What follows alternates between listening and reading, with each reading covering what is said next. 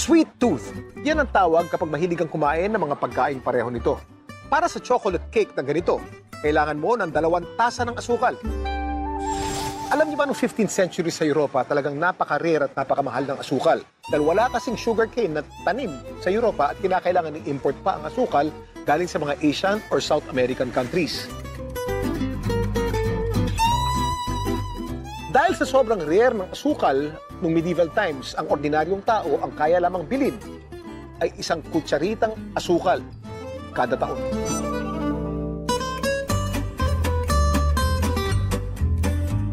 Pero itong papakilala namin sa inyo, hindi matipid sa asukal dahil asukal ang gamit niya sa paggawa ng kanyang obra. Siya si Chef Rowan Hibay. Tubong Bicol pero ngayon umiikot sa iba't ibang parte ng mundo bilang pastry chef sa isang cruise ship.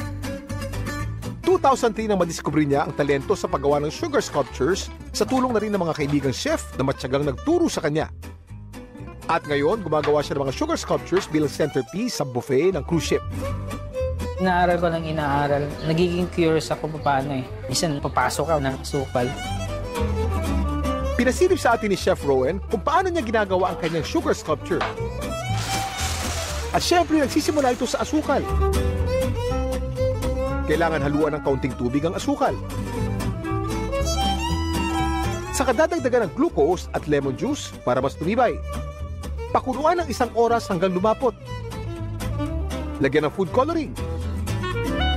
At imasa bago batakin. Ito ang tinatawag na pulled sugar. Habang binabatak, lalong kumikintab.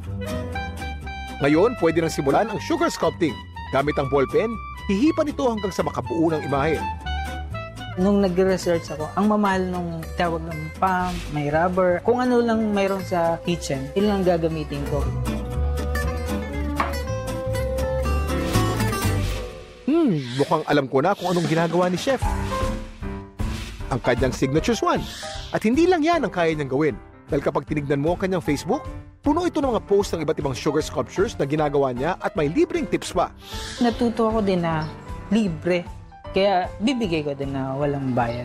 Isinishare ko sa ganitong paraan.